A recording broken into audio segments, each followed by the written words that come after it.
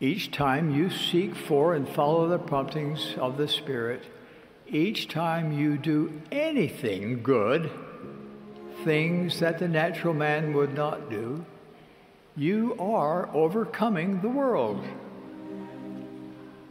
Overcoming the world is not an event that happens in a day or two. It happens over a lifetime as we repeatedly embrace the doctrine of Christ. As we strive to live the higher laws of Jesus Christ, our hearts and our very natures begin to change. The Savior lifts us above the pull of this fallen world by blessing us with greater charity, humility, generosity, kindness, self discipline, peace, and rest. Now, you may be thinking this sounds more like hard spiritual work rather than rest. But here's the grand truth. While the world insists that power, possessions, popularity, and pleasures of the flesh bring happiness, they do not. They cannot. What they do produce is nothing but a hollow substitute for the blessed and happy state of those who keep the commandments of God.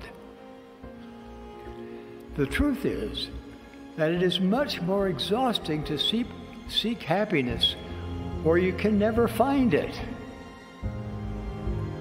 However, when you yoke yourself to Jesus Christ and do the spiritual work required to overcome the world, He and He alone does have the power to lift you above the pull of this world.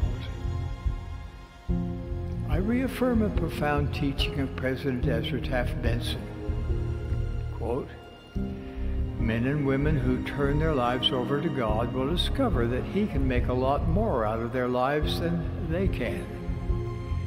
He will deepen their joys, expand their vision, quicken their minds, lift their spirits, multiply their blessings, increase their opportunities, comfort their souls, raise up friends, and pour out peace.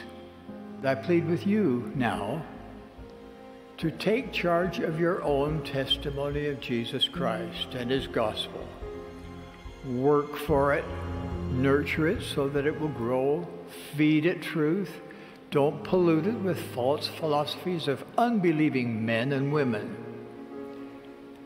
As you make the continual strengthening of your testimony of Jesus Christ your highest priority, watch for miracles to happen in your life.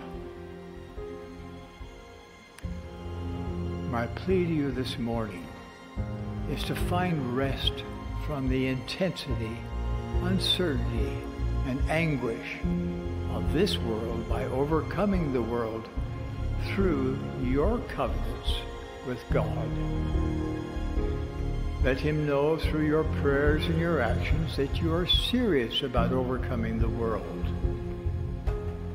Ask Him to enlighten your mind and send the help you need. Each day, record the thoughts that come to you as you pray. Then follow through diligently. Spend more time in the temple and seek to understand how the temple teaches you how to rise above this fallen world.